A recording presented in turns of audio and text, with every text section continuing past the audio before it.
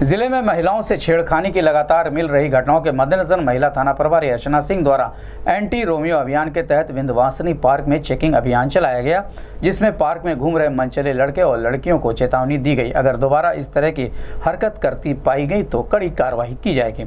इस संबंध में गोरखपुर न्यूज़ से बात करते हुए महिला थाना की प्रभारी अर्चना सिंह ने कहा। मज़े लेने आते हो। कॉलेज में चुप कॉलेज वाले लग रहा है तुम कॉलेज से आए हो? कोचिंग करने आए कॉलेज में बैग बुक कुछ किताब कभी कुछ है? दीदी। हैं दीदी। Coaching R R C G जाऊँगा उर्दी का। पता से से चल रहा है। चलिए कुछ नोट हो कहीं बस नाम और नंबर नाम दिखाओ। हम नहीं किए मैम तुम क्या पता किए यहाँ पे यहाँ आया घूमने।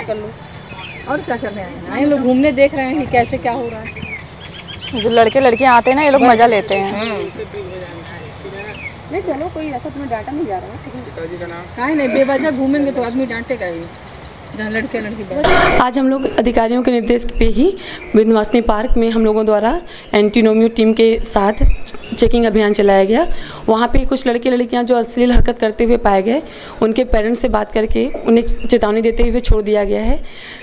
और तथा उनकी हिदायत दी गई है कि भविष्य में इस तरह की कोई कार्रवाई ना कर मतलब हरकत ना करें। और हम लोग, जो शहर में छिड़कानी घटना न घटित हो, इसके लिए हम लोग लोगों द्वारा लगातार जो है पार्कों में, स्कूल कॉलेजों के बाहर इस तरह का अभियान चला, चलाया जाता रहेगा।